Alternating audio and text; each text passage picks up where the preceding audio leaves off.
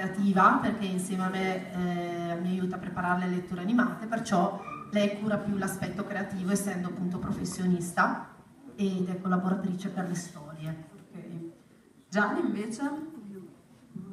Ecco, io quando vedevo i maghi così con tutte le belle vallette, così non sapevo che alla fine di ogni spettacolo la valletta che sparisce bisognava trovarne un'altra. E allora a una battuta non ha riso nessuno. Era una battuta. Eccola. No, bisognava trovare una, una nuova...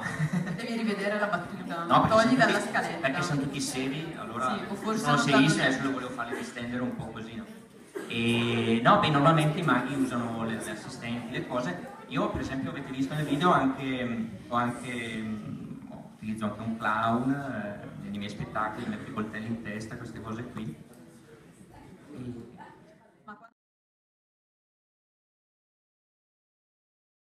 Si chiama Cascabel, è la fata che con un ramo di, di fiori e di foglie è intrecciata su nel cielo e perciò la sera saluta le stelle in compagnia delle stelle, la mattina ritorna a dormire.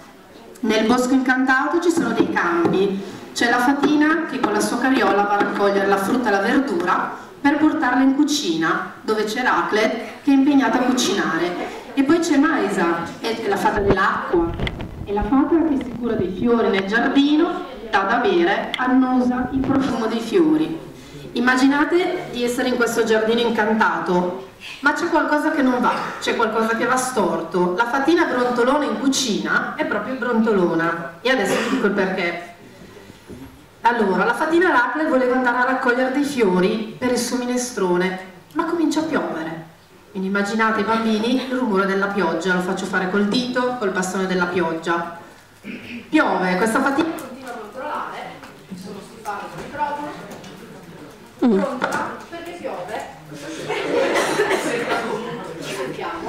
Piove, piove, questa fatina continua a brontolare. Allora cosa fa? va dalla sua Cascaber e le dice cara Fatina, io sono stufa, non mi piace la pioggia, sono un po' brontolona. Per piacere mi fai tornare la notte, le stelle? Ah, va bene, se lo vuoi. Allora la Fatina Cascaber soffia le e in un battibaleno arriva al buio, scusatemi, il temporale va via. E cosa succede?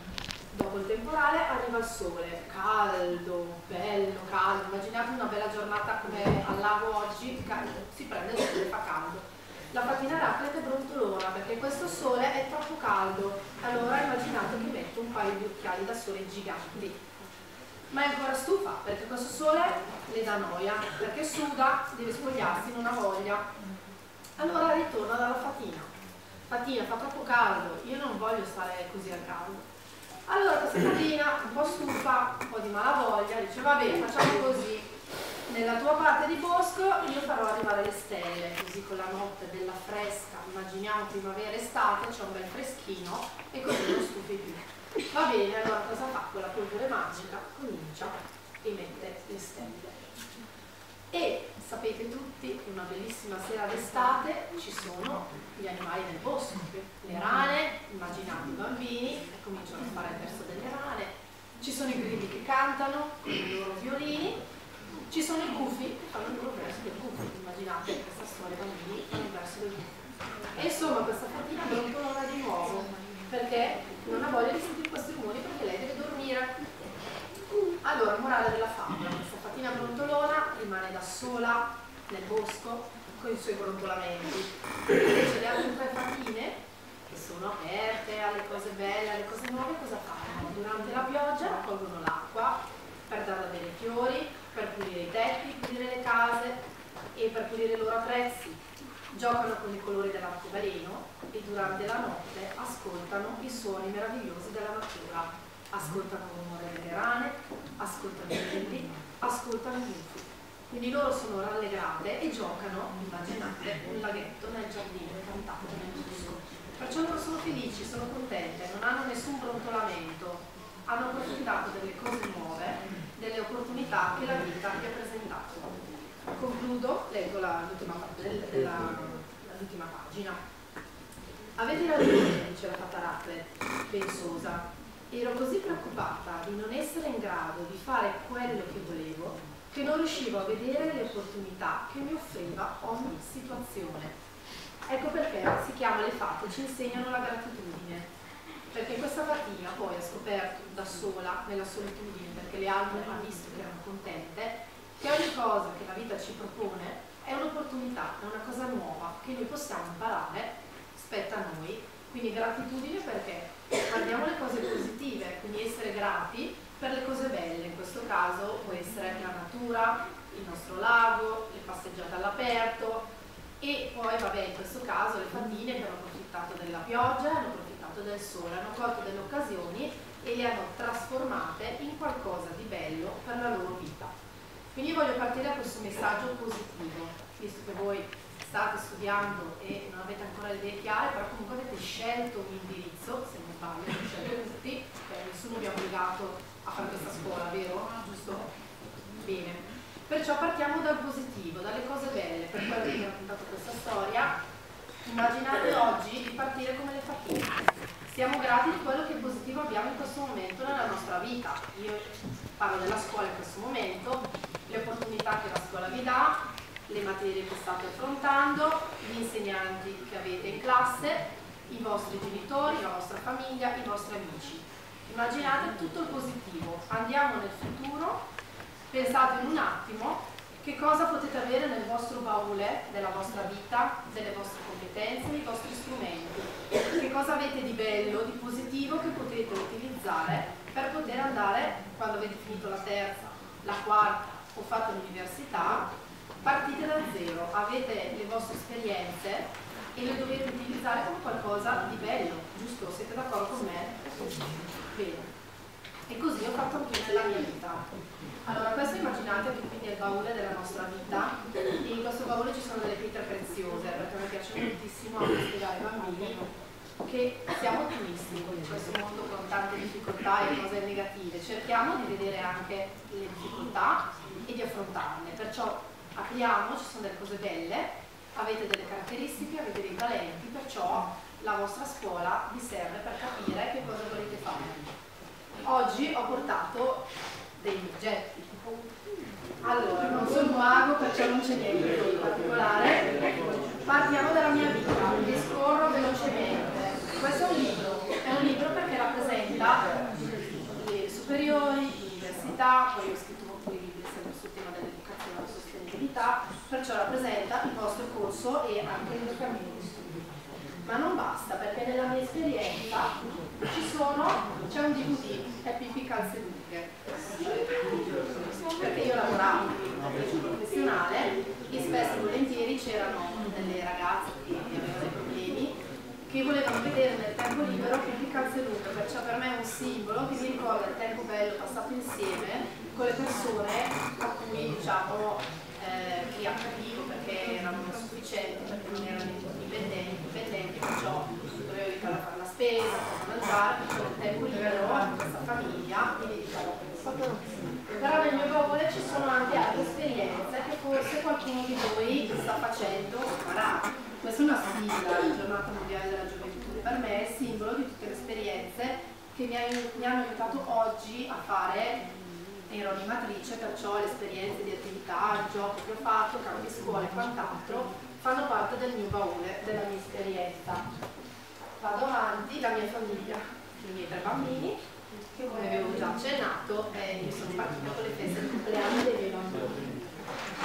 Qui ci sono le pietre preziose e poi andiamo avanti. Allora, qui abbiamo una corona di principessa e un cappello da pirata, perché come avevo anticipato prima, le mie feste di compleanno sono proprio dedicate, perciò io eh, racconto una storia all'inizio della festa, il festeggiato, il festeggiato si veste con un vestito che può essere pirata, cavaliera, principessa Elsa, piuttosto che Biancaneve, Cenerentola, quello che volete voi, la fatina, e racconto una storia che li porto in tutti i giochi che faccio come filo conduttore, hanno una caccia al tesoro con questo tema, questo è il simbolo. Concludo velocemente, vediamo faccio il simbolo, poi se allora, questo è un cappello che solitamente io faccio mettere insieme a altri oggetti a un bambino, una bambina all'interno della storia. Che racconto, ed è un cappello trasparente a fiori di fiori e questo è un po' il simbolo delle storie che io racconto che solitamente hanno come tema ma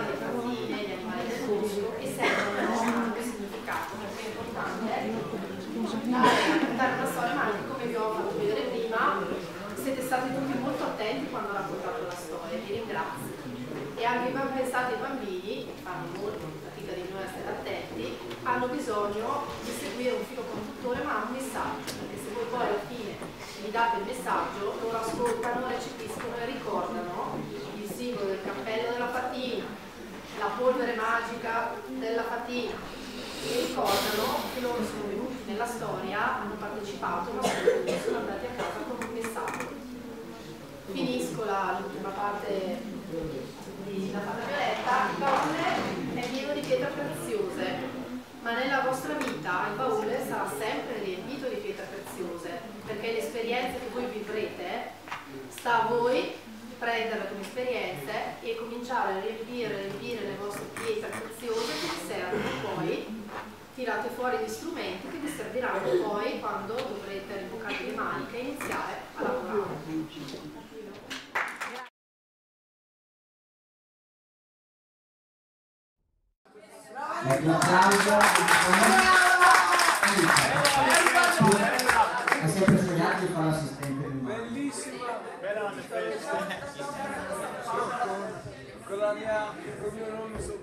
E solo i like perché Misura bene, non uso il microfono perché normalmente è il mago, l'apparato tecnico del mago è il microfono ad archetto, quindi poi siccome non Non cadere.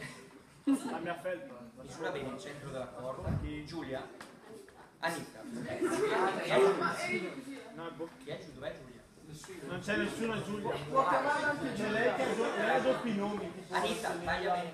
Il politici, vogliono le... No, Il gioco della corda tagliata, eh. Taglia.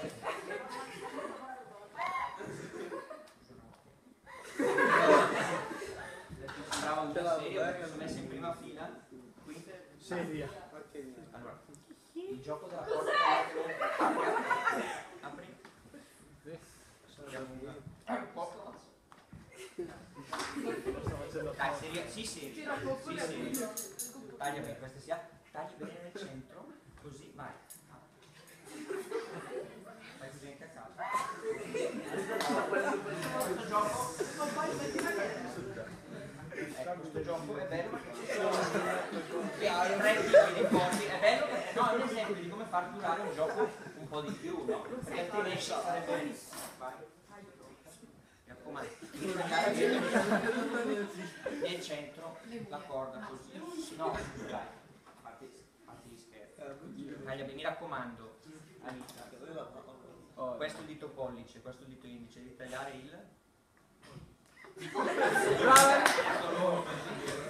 Taglia bene il centro della corda, vai, ce la fai, piano piano, sì sì sì, vai così abbiamo due corde perfettamente lunghe uguali. Proprio dimmi stop, quando sono lunghe uguali mi fermo, è dove dici tu. Qui, perfetto, il gioco delle due corde lunghe uguali è bello perché questo gioco si fa con due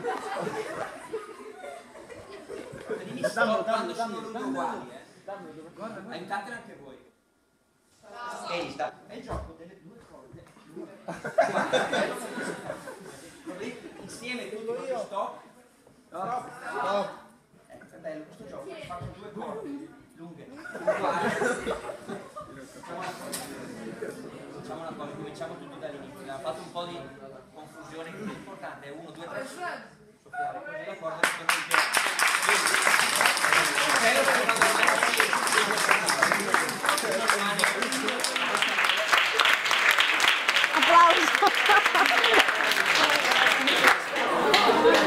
Cioè, io voglio imparare.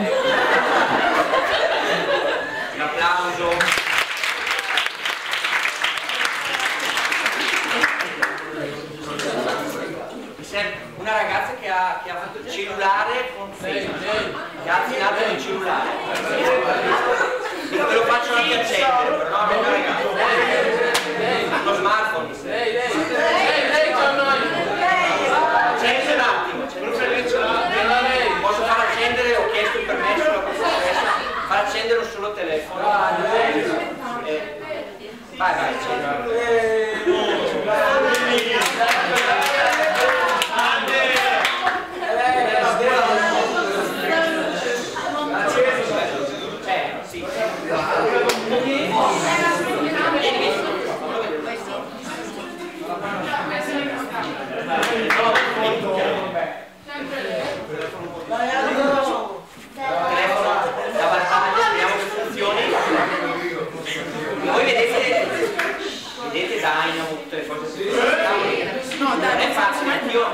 vado nei locali, faccio i bambini per fortuna lo vedo poco, ma nei locali, nei ristoranti, quando faccio i video, vedo tutti i ragazzi che mi fanno vedere i video, mi sono messo un po' a studiare, volevo fare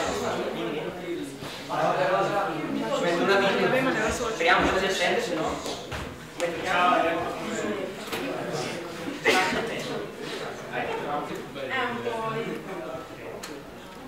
Le carte da gioco le conoscete? Cuori, fiori, picche, quadri. Profilo, qua c'è una qui.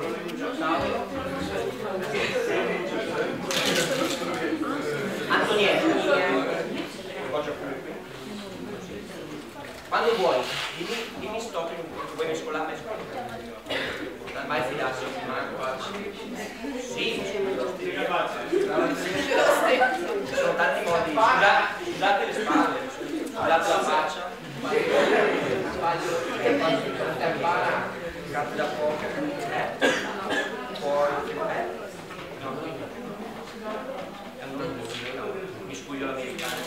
Allora ti prego di eh, dirmi stop in un punto qualsiasi quando vuoi.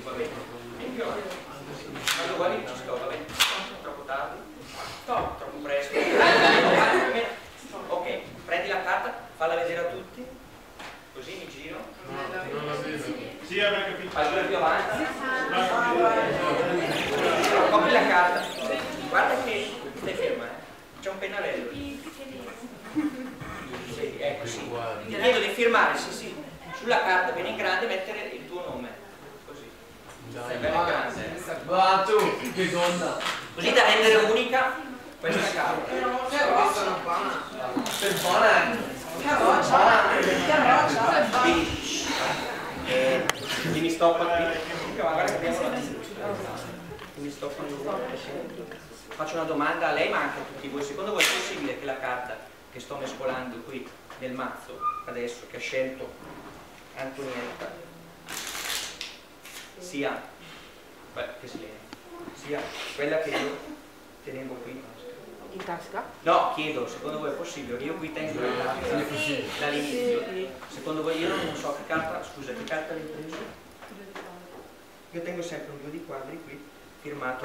Allora, non sei visto, lo chiedo, una- lo chiedo soprattutto ai miei amici, non sei visto che molto molto velocemente ho sfilato la carta e l'ho portata, non sei visto? No. Allora ho fatto bene. dai. Allora- no, no, ripeto, ripeto. Piano piano. Tac. Fatto così. Impossibile. Grazie, però.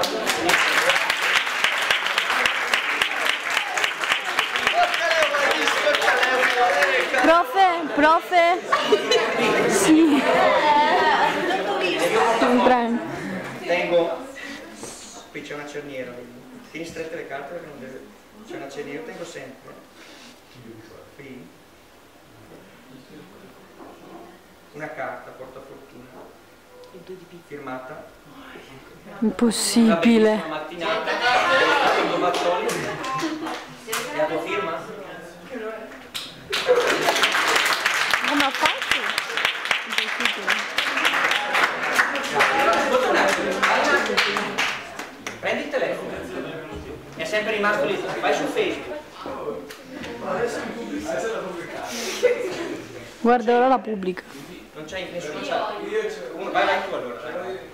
Primo più veloce che va sul mio Facebook perché io avevo fatto una previsione ieri. Avevo fatto una previsione. Mago Gian. Ma c'è, c'è una pagina, ho fatto un prova a guardare, fai vedere dopo, lo guard- non accendete lì tutti, adesso lo guardate dopo, controllate dopo. Io avevo fatto una previsione.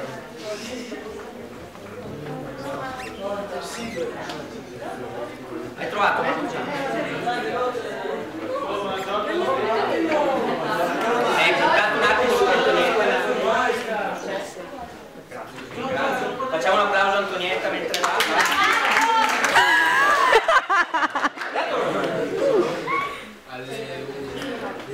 Grazie, grazie.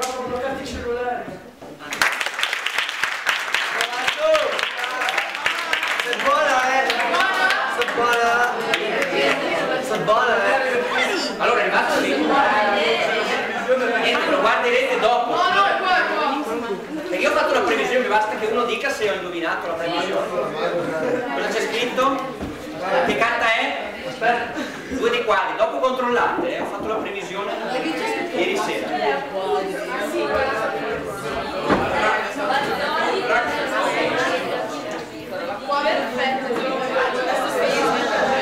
Bene, dopo, dopo controllate. Elemento modificato, eh. L'effetto modificato l'aveva fatto.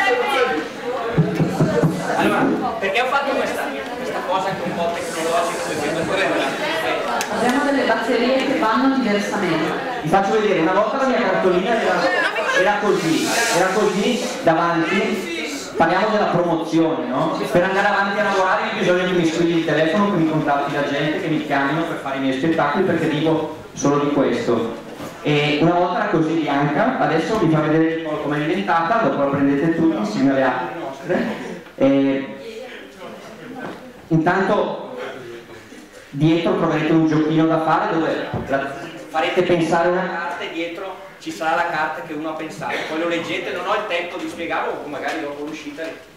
Poi troverete il mio YouTube, ho iniziato da un anno grazie a un corso che ci ha fatto la nostra, nostra organizzazione Fa Soul Music, a fare i video su YouTube da un anno, cerco di fare delle cose un po' diverse da tutti quelli che, hanno, che fanno gli altri, uso la mia tartaruga, uso un bebè, un nipotino, gli moltiplico il latte nel biberon, a me fa piacere se le guardate queste cose, anche per alcune possono essere belle, altre no. Eh, mi ha dato carica che a gennaio mi ha chiamato una è incredibile ma internet è questo, mi ha chiamato da Londra per trasmettere un mio video della mia tartaruga magica alla BBC, è una, una televisione importante e, e questo mi ha dato spina a fare ancora più video, ne, ne faccio due o tre al mese, sicuramente tutti guardate i video su YouTube, no? Eh. Ci sono anche YouTube, quello mi fa piacere però, mi fa, farebbe piacere anche mettervi in contatto con degli youtubers e poi Facebook, come avete visto, si possono provare a fare de- delle cose interattive come ho fatto stamattina.